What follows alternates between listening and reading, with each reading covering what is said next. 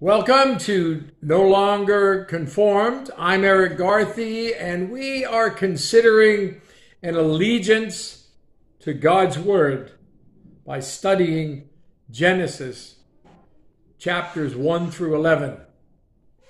In this session, we'll be looking at Genesis chapter 1, verses 1 and 2, the cornerstone of the Bible. As we go through these uh, sessions, these 10 sessions on an allegiance to God's Word, we will be reading the entire text of Genesis chapters 1 to 11. So these sessions may be a little longer than, than uh, usual, as well as reading uh, some other larger supporting passages as we consider uh, these chapters. Let's uh, let's begin. We're looking at the cornerstone of the Bible. Genesis chapter 1 verses 1 and 2. In the beginning, God created the heavens and the earth. The earth was without form and void, and darkness was on the face of the deep. And the Spirit of God was hovering over the face of the waters. Let me tell you, to begin with. These two verses are crucial to a right view of Scripture. A foundational allegiance to God's Word as absolute. Um, turn with me to Acts chapter 17 and verse 22. We're going to look at the Apostle Paul as he stood there on Mars Hill and he shared what every person needs to know about God and Jesus Christ. Acts chapter 17, verse 22. And then Paul stood in the midst of the Areopagus and said, Men of Athens, I perceive that in all things you are very religious. For as I was passing through and considering the objects of your worship, I even found an altar with this inscription to the unknown God. Therefore, the one whom you worship without knowing, him I proclaim to you. God, who made the world and everything in it, since he is Lord of heaven and earth, does not dwell in temples made of hands, nor is he worshipped with men's hands, as though he needed anything, since he gives to all life, breath, and all things and he has made from one blood every nation of men to dwell on all the face of the earth, and has determined their pre appointed times and the boundaries of their dwellings, so that they should seek the Lord in hope that they might grope for him and find him, though he is not far from each one of us. For in him we live and move and have our being as also some of your own poets have said, for we are also his offspring. Therefore, since we are the offspring of God, we ought not to think that the divine nature is like gold or silver or stone, something shaped by art and man's devising. Truly, these times of ignorance God overlooked, but now commands all men everywhere to repent because he has appointed a day on which he will judge the world in righteousness by the man whom he has ordered ordained. He has given assurance of this to all by raising him from the dead. And authority will rule each of our lives either god's revealed truth or man's human reasoning Listen, if God created all things, then he controls all things and he can do all things. Therefore, believing and understanding Genesis chapter 1, verses 1 and 2 is crucial.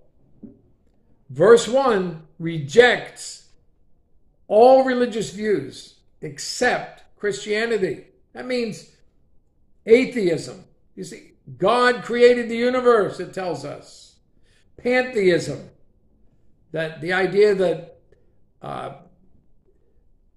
one universe where we're all part of it. God transcends all that He created. We are part of a created order. Polytheism, more than one God. No, one God created all things, not many gods.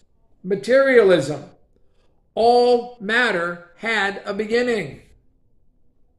Dualism, no, God was alone when He created. Humanism, no, it's it. These two verses let us know that God, not man, is the ultimate reality. And then evolutionism. Listen, God created all things. And then we you can just go on and on and on. Consider each of the words in that first verse, just that first verse, Genesis 1 1.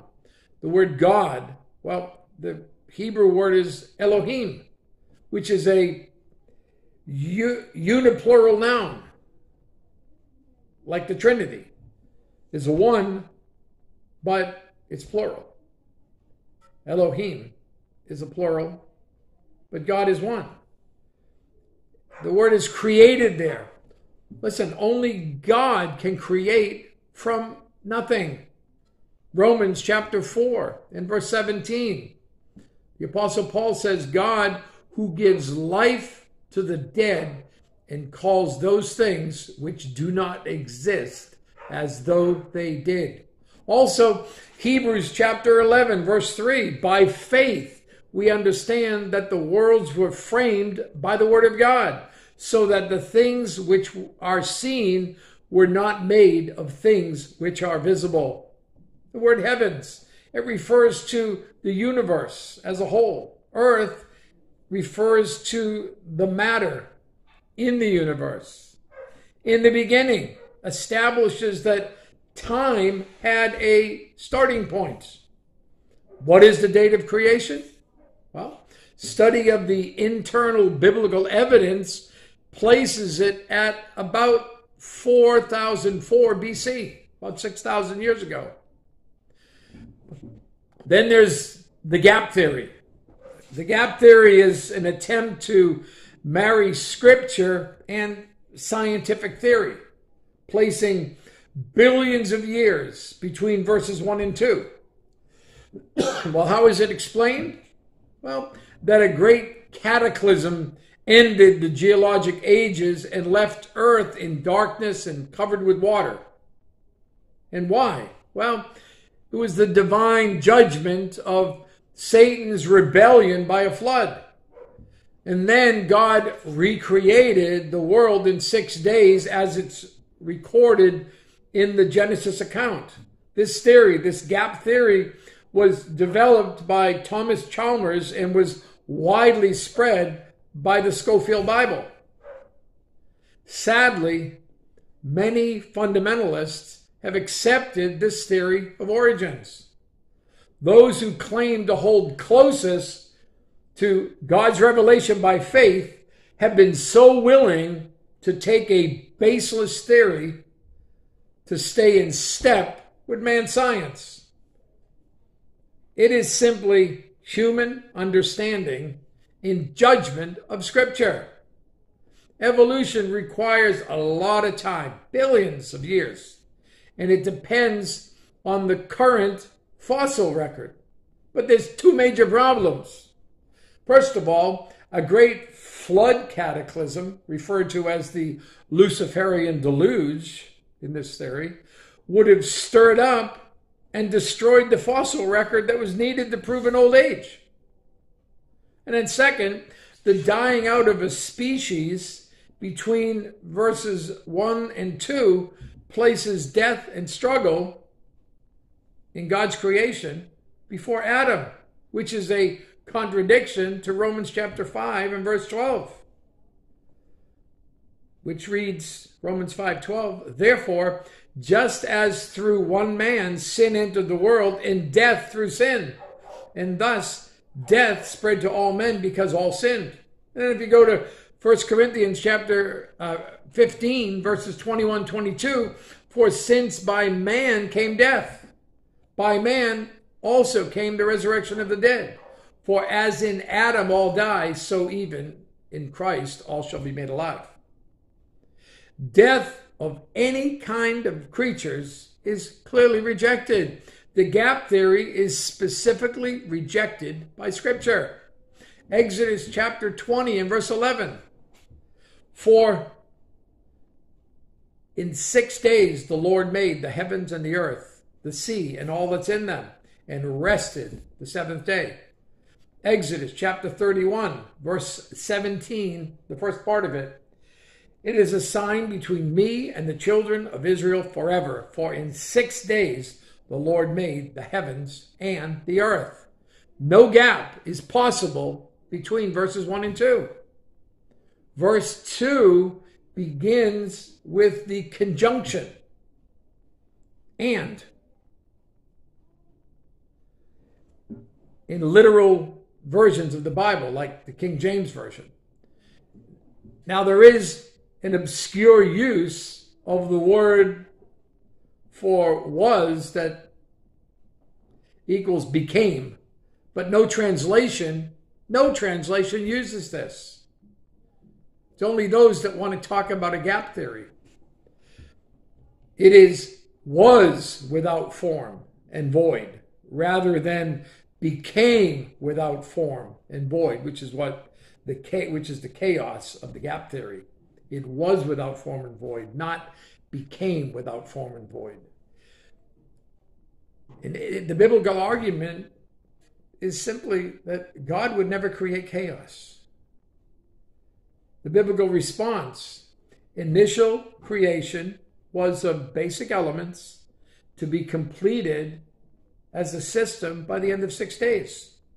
A literal reading of Scripture is not hard, but it requires faith. And darkness was on the face of the deep. Isaiah chapter 45 and verse 7. I form the light and create darkness. I make peace and create calamity. I, the Lord, do these things. Second Peter chapter 3 and verse 5. For this they willingly forget that by the word of God the heavens were of old and the earth standing out of water in the water. God created the three elements of space, time, and matter, and then he completed the work. And the triune God was present. The Holy Spirit, again, look at um, Genesis chapter 1, verse 2, the second part of it and the Spirit of God was hovering over the face of the waters. So we have the Holy Spirit present. We also have the Son present. Uh, the Apostle Paul wrote in Colossians chapter 1, verses 15 to 17, he is the, invis- the he is the image referring to Jesus the image of the invisible God, the firstborn over all creation. For by him all things were created that are in heaven and that are on earth, visible and invisible, whether thrones or dominions or principalities or powers. All things were created through him and for him. And he is before all things, and in him all things consist. So the Spirit was present at creation. The Son was present because he was doing the creating, and the Father was present. Genesis chapter 1, later on in chapter 1, verse 26, the first part of it. Then God said, Let us make man in our image, according to our likeness. How important is this plain, literal reading of the text? Genesis chapter 1, verses 1 and 2. It is foundation. It, it is foundational to determining the real real authority for life and living. Listen, evolution, even a gap theory, allows you to decide what is right and wrong. It elevates human reasoning. The, the peculiar thought process of evolutionary of evolutionary theory is best summarized as follows. In, in kindergarten, we are taught that a frog turning into a prince is a fairy tale. When we get to college, we're taught that a frog turning into a prince is science. And yet, Darwin himself stated, I am quite conscious that my speculations run beyond the bounds of true science. He himself knew that what he his ideas, his theories, his evolutionary theory was was not science. He knew. And then creation with the young earth forces you to accept God's absolute standards. 2 Timothy chapter 3 verse 16. All scripture is given by inspiration of God and is profitable for doctrine, for reproof, for correction, for instruction in righteousness, that the man of God may be complete, thoroughly equipped for every good work. And then Hebrews chapter 4, verses 12 and 13. For the word of God is living and powerful and sharper than any two edged sword, piercing even to the division of soul and spirit and of joints and marrow, and is a discerner of the thoughts and intents of the heart. And there is no creature hidden from his sight, but all things are naked and open to the eyes of him to whom we must give account. If God created all things, then he also controls all things, and he can do all things. He is the owner of all, the provider of all, the source of strength, the revealer of truth, the ruler of creation, and the judge of everyone. God is the absolute authority who makes up all the rules. The question is are you in line with God's truth, the Bible? 2 Peter chapter 1 verse 3 tells us that his divine power has given us given to us all things that pertain to life and godliness. Life. What, what, what's life? Well, it's salvation. We all come the same way. Romans 3:23 tells us that all have sinned and fall short of the glory of God. Romans 6:23 says that the wages of sin is death, but the free gift of God is eternal life by Christ Jesus. So we all sin, we all deserve to be punished for our sin, but God loves us. He loves us. And He demonstrated that love by sending His Son. For the free gift of God is eternal life by Christ Jesus. John 3:16 tells us, "For God so loved the world that he gave his only begotten son that whoever believes in him should not perish but have everlasting life." God loves us. He sent Jesus because of that love, because of our sin.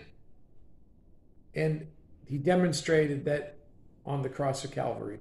Romans chapter 5, verse 8 God demonstrates his love toward us in that while we were yet sinners, Christ died for us. God didn't wait for us to confess all our sin. He didn't wait for us to get cleaned up of our sin and its effect. No, He sent Jesus to the cross while we were sinners and He died for us to pay the penalty that we deserve. And we need to, with conviction that He died for us and that He rose from the dead, confess that belief. Romans 10 9 and 10. If we confess with our mouth the Lord Jesus and believe in it in our hearts that God raised him from the dead, we shall be saved. For with the mouth confession is made, and with the heart we believe unto righteousness. And then all we need to do with that conviction, that belief, is reach out and ask Him to forgive us. Romans 10 13. For all who call upon the name of the Lord shall be saved. So, His divine power has given to us all things that pertain to life and godliness. So, life is talking about salvation, that we need to be saved. Everything we need to know is available for us to be saved. And godliness, he says, that's spiritual growth. Because, see, he goes on in that passage um, to say in Second Peter chapter 1, verses 2 through 10, it says, Grace and peace be multiplied to you, and in the knowledge of God and of Jesus our Lord, as his divine power has given to us all things that pertain to life and godliness through the knowledge of him, Jesus, who called us by glory and virtue, by which we have been given, by which have been given to us exceedingly great and precious promises, that through these you may be partakers of the divine nature, having escaped the corruption that is in the world through lust. But also, for this very reason, giving all diligence, add to your faith virtue, and to virtue knowledge, to knowledge self control, to self control perseverance, to perseverance godliness, to godliness brotherly love, and to brotherly love, to brotherly kindness love. For if these things are yours and abound, you will be neither barren nor unfruitful in the knowledge of our Lord Jesus Christ. For he who lacks these things is short sighted, even the blindness, and has forgotten that he was cleansed from his old sins. Therefore, brethren, be even more diligent to make your call and election sure, for if you do these things, you will never stumble. Amen. You have a great day.